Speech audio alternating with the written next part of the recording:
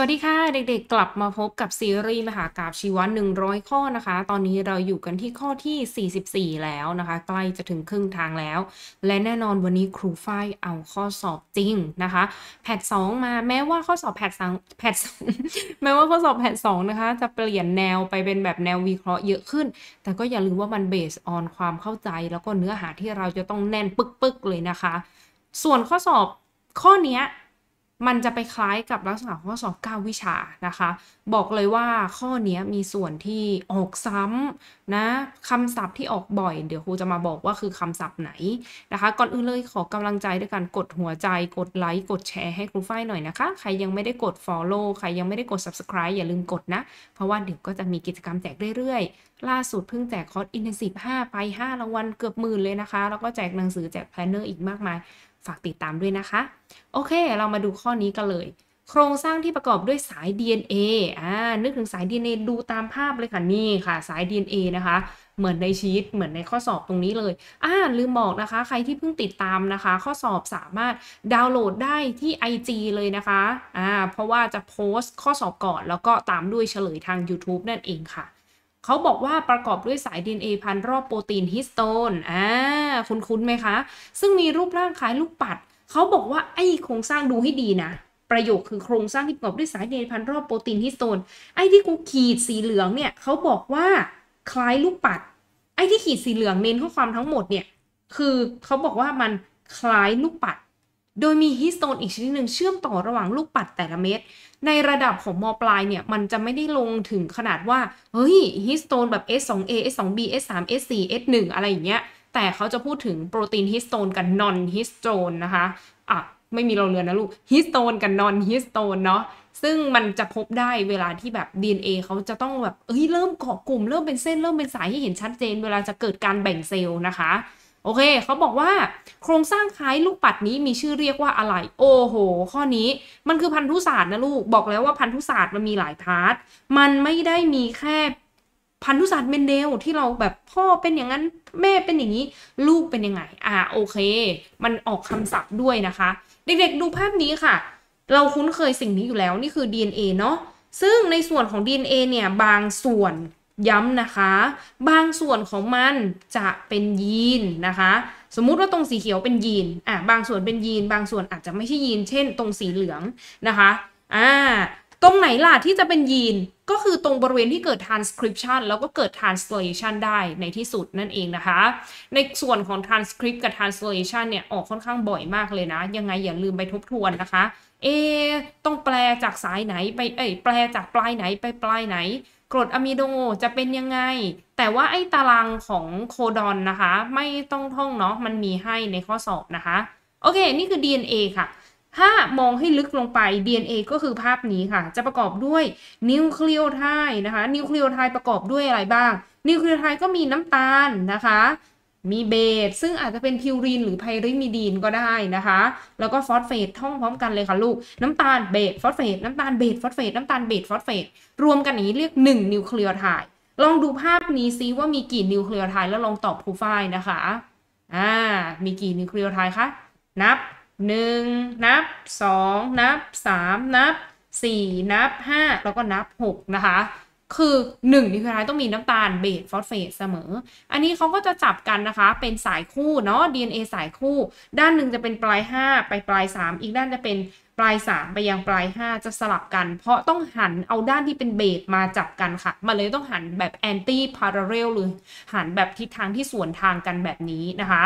ดังนั้นคำว่านิวคลียไทด์ก็คือส่วนประกอบนะคะ หน่วยย่อยของ DNA และ RNA นะคะ คือเวลาเราพูดถึงนิวเคลียไทด์เนี่ย เราจะคิดถึงแค่แบบเป็นหน่วยย่อยของ DNA ใช่ไหม แต่ก็เป็นหน่วยย่อยของ RNA เช่นเดียวกันนะคะ แต่มันจะแตกต่างในเชิงรายละเอียดเล็กน้อยเนาะ โอเค มาดูต่อค่ะ DNA เวลาที่เขาจะเกิดการเวลาเซลล์จะเกิดการแบ่งเซลล์เนี่ย ณ ตอนแรกเนี่ยนะ เป็นเซลล์อย่างนี้ มีนิวเคลียสอย่างนี้ สายของสารพันธุกรรมพวก DNA มันจะพันแบบคล้ายๆ ยุ่งเหยิงยุ่งเหยิงเหมือนเส้นได้ที่โดนดึงออกมาพันพันพันกัน ทีนี้เวลาจะเกิดการแบ่งเซลล์เนี่ยมันก็ลำบากเนาะได้มันยุ่งเหยิงยุ่งเหยิงอะทำยังไงเขาก็จะพยายามขดให้มันเป็นลักษณะโครโมโซม มันจะได้แบ่งกันง่าย มันจะได้ฉีกกันง่าย หนูคิดสภาพนะ ให้แบ่งเส้นได้ที่พันกันเป็นขยุ่มขยุ่มอะกับเส้นได้ที่แบบพันกับแกนเส้นเขาเรียกว่าอะไรอะแกนแกนได้หรอแกนเส้นได้ หนูนึกออกไหมแกนได้อะเส้นได้ที่พันแกนได้แบ่งเป็นชุดชุดชุดเรียบร้อยแล้วอุ้ยมันแบ่งง่าย แบ่งง่ายกว่าเส้นได้ที่พันกันมั่ว ดังนั้นเวลาจะเกิดการแบ่งเซลล์ดินเองก็จะต้องพยายามแพ็คตัวเองให้แบบมีลักษณะที่เป็นแท่งมากขึ้นนั่นเอง แต่อย่าลืมว่า DNA เนี่ยเขามีประจุนะคะ เป็นอะไรคะ ตืดตืดตืดตืดตืดตืดตืดเป็นลบนั่นเอง เวลาเขาจะพันกันเองเขาก็ต้องผลักกันทำให้ไม่แน่นสักทีเขาก็เลยต้องไปจับกับฮิสโตน ซึ่งฮิสโตนเนี่ยส่วนใหญ่แล้วมันเป็นประจุบวก เพราะว่ามันเป็นกรดอะมิโนพวกไลซีนเอ้ยกรดอะมิโนไลซีนกับอาร์จินินเยอะนะคะ ซึ่งมันเป็นประจุบวก มันก็จะจับได้ดีกับประจุลบบวกกับลบจับกันก็จะจับกันแน่น เวลาเมื่อไหร่ก็ตามที่มีนิวคลีเอ้ยเมื่อไหร่ก็ตามที่มี DNA พันกับฮิสโตน เราเรียกว่านิวคลีโอโซม ดังนั้นสมการก็คือฮิสโตนนะคะบวก DNA เท่ากับนิวคลีโอโซมนั่นเองหลาย ๆ นิวคลีโอโซมก็จะเริ่มพันกันแพ็คแพ็คแพ็คแพ็คเป็นสายแบบนี้ ก็จะเป็นโครมาทิน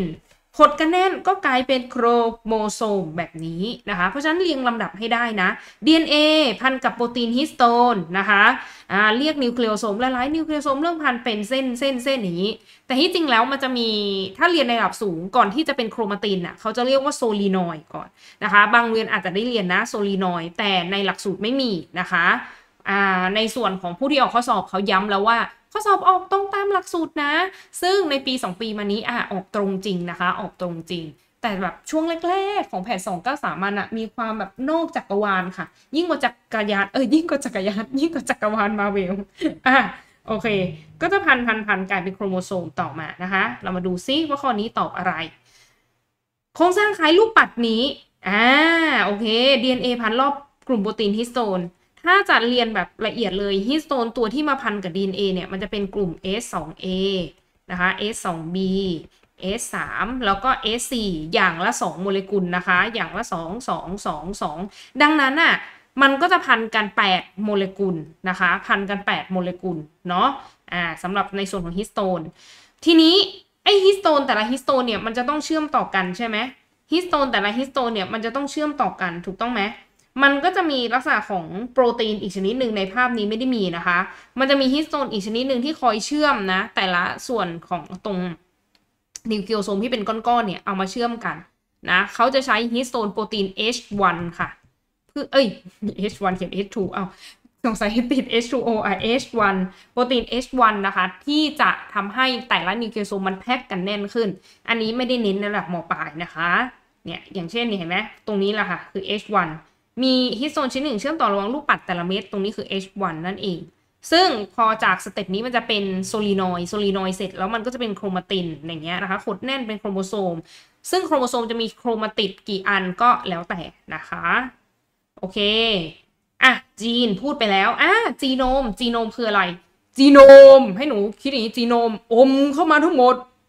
มันพูดถึงสารพันธุกรรมทั้งหมดในเซลล์นะคะ โดยหมายถึงโครโมโซมแค่ชุดเดียวนะ ก็คือ N เดียว ถ้าข้อสอบออกก็คือสารพันธุกรรมทั้งหมดในเซลล์ โดยหมายถึง haploid นะคะ เราจะไม่หมายถึง dip เราจะไม่หมายถึง diploid เอ๊ะ วันนี้มันลิ้นมันเป็นอะไรนะคะ โอเค จีโนม อีกครั้งหนึ่งสารพันธุกรรมทั้งหมดในเซลล์ของร่างกายมนุษย์โดยหมายถึงในระดับของ haploid นะคะ N เดียว โครมาตินพูดไปแล้วนิโคลีไทพูดไปแล้ว ข้อนี้ต้องตอบนิว คลีโอโซมโอเค ข้อนี้ถูกไหมคะ ขอบคุณนะคะเด็กๆที่ติดตามสำหรับข้อนี้เนาะขอบคุณที่ให้ครูฝ้ายเป็นส่วนหนึ่งในชีวะ แล้วก็ขอบคุณที่ให้ครูฝ้ายเป็นส่วนหนึ่งในชีวิตนะคะ ขอบคุณมากเลยค่ะ เดี๋ยวเราติดตามกันในข้อต่อไปกับซีรีส์มหากราบชีวะ 100 ข้อ